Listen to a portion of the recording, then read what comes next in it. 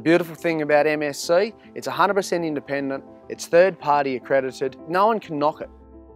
Our family is, is neck deep in this fishery and it means everything to us. So keeping it sustainable and keeping it alive and keeping it going is vital.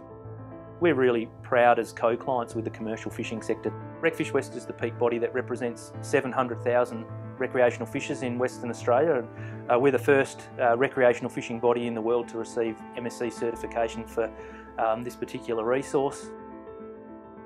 The MSC program allows us to look at ensuring that we have fish not just for now but for our grandchildren, for our great-grandchildren and we leave a legacy of um, fishery sustainability.